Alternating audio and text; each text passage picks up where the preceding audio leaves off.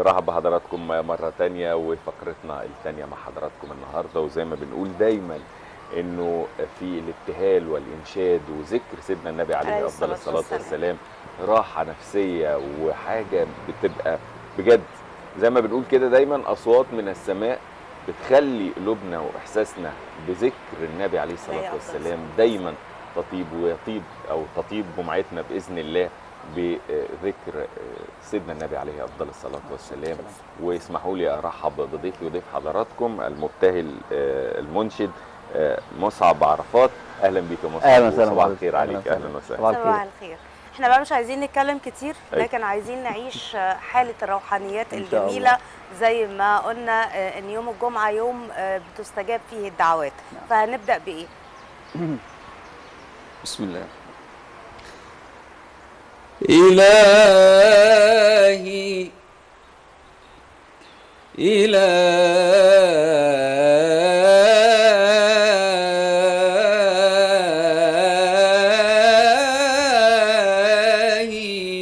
إن يكن ذنبي عظيما. فاعفوك يا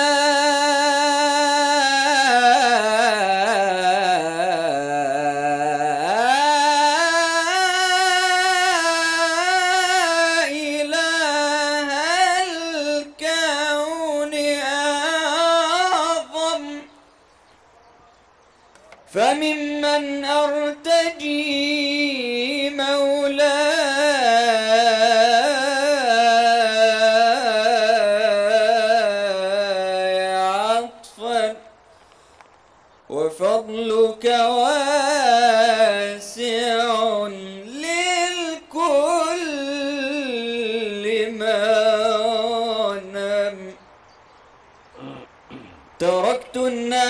الناس كلهم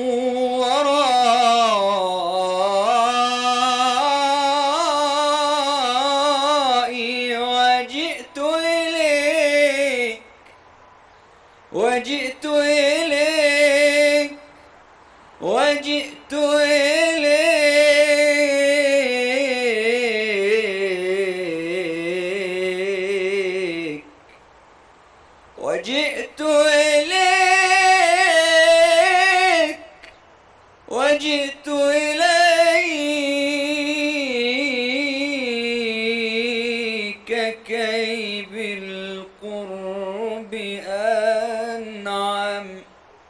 فعاملني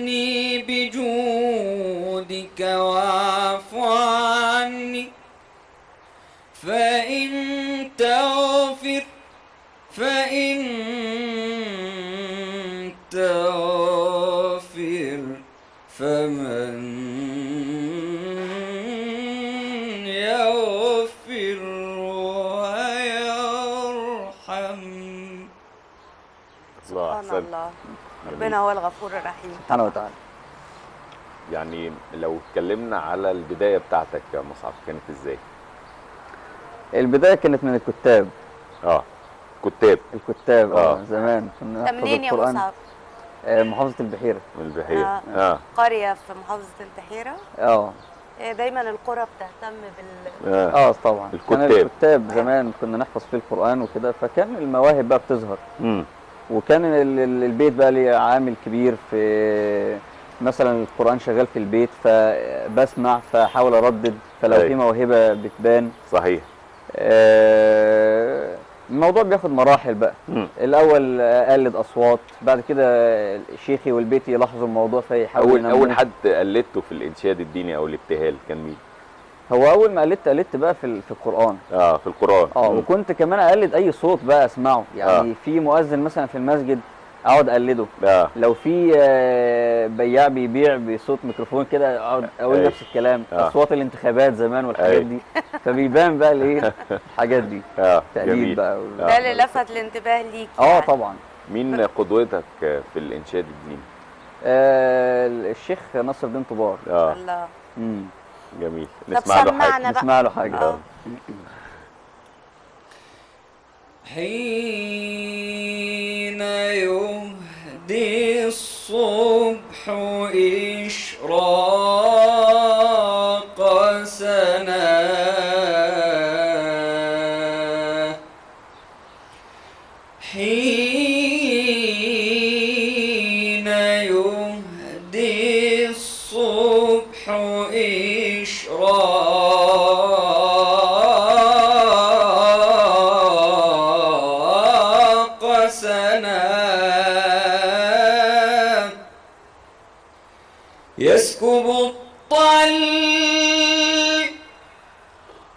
يسكب الطل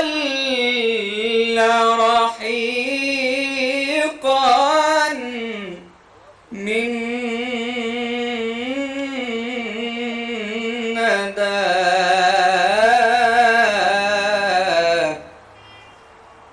موقظا بالنور أكفان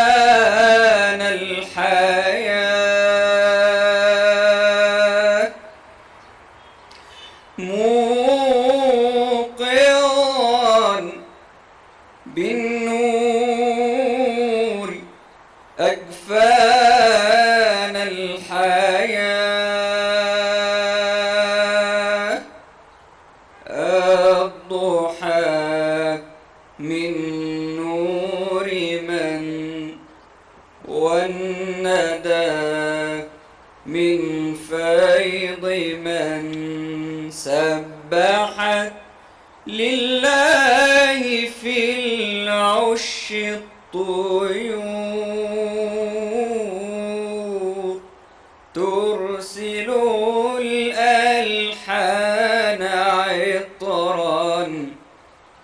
في البكور تصنع العش وتسعى في البكور. عيشها في رزق من وهي أيضا صنع من الصانع الله. والرازق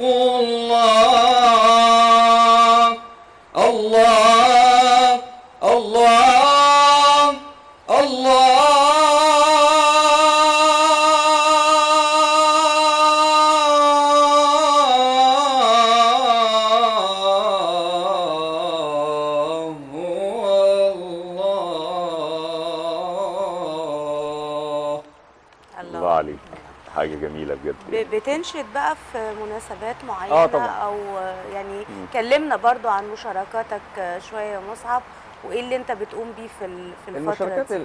آه المشاركات ال- الابتهالات الدينية أو قراءة القرآن ومشتركين في المناسبات الدينية. المصريين متعلقين بال- بالحاجات دي أكتر من. غيرهم كمان واتعلموا العالم كله طبعا ال- الفن ده آه، أشهر المناسبات الهجرة النبوية المولد النبوي الحاجات دي كلها دايما في كل المساجد وبيكون فيها احتفالات آه، تلاوة القرآن الكريم والابتهالات الدينية. وفيها الاستشعار الروحي بقى بالحاجات الجو الروحاني بيبقى من الأجواء ال- ال- يعني المهمة جدا بالنسبة لنا آه اللي بنعيش فيها وبننتظرها كمان. أكيد. تعمل نوع نوع من ال- الصفاء النفسي بالنسبة للإنسان. آه طبعا. هي ال- ال- الانشاد الديني متعلق أصلا بال- بالروحانيات وبالصفاء الروحي يعني. صحيح. بتثقل موهبتك إزاي يا مصعب؟ نعم. بتثقل موهبتك إزاي؟ بتدرس بال- آه، آه دخلت في النقابة ولا آه لسه؟ آه السمع والدراسة مم. والتدريب والتعليم على إيد ال- المتقنين في في في المجال يعني. مم. ده ده التدرج الطبيعي لأي حد عنده موهبة. إن هو بي بينميها عن طريق إنه بيسمع كويس ما يسمعش أي حاجة طبعا. آه. لازم يسمع سمع كويس لأن المخزون النغمي بيتكون من اللي أنا بسمعه. فلما اسمع آه، مشايخنا القدام واتربى على النغم الأصيل والكلام ده ده بيربي عندي موهبة كويسة تكون أكون قادر إن أنا أقول آه، ولا كويس. بتستدعيها على آه. طول وتقول بيها. بالظبط. يوم الجمعة إحنا دايما ب... يعني بنحب ندعي ربنا سبحانه وتعالى. فعايزين نسمع دعاء كده آه، ربنا يستجيب لدعواتنا جميعا رب. يا رب. يا رب إن شاء الله. اللهم صل على سيدنا محمد في الأولين. وصل عليه في الآخرين.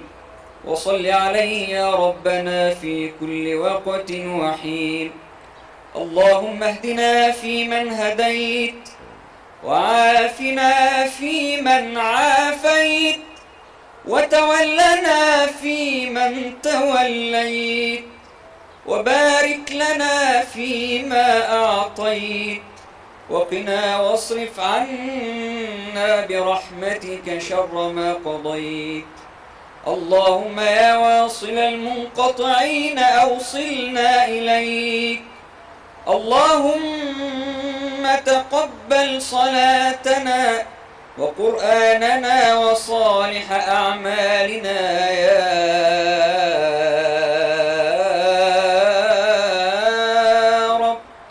اللهم ارحمنا بالقرآن واجعله لنا شفيعا وهدى ورحمة يا رب العالمين.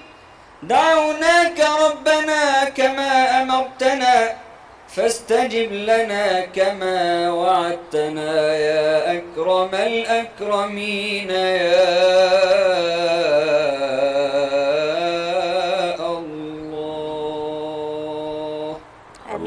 رب العالمين احسنت. وأمتعتنا يا مصعب وبالتوفيق إن شاء الله إن شاء الله ونشوفك بإذن الله شكراً في نجم. في الإنشاد والابتهالات في مصر ومن الأسماء الكبيرة شكرا إن جزيلا. ليك شكراً ليك. نورتنا. نورتنا آه، بكده نكون وصلنا لنهاية آه، لقاءاتنا النهاردة مع حضراتكم في مصر جميلة لكن اللقاءات مستمرة يوميا لأن دايما يا رب مصر جميلة بكل حاجة جميلة بتحصل فيها بكرة فريق عمل جديد إن شاء الله إلى مصر اللقاء جميلة.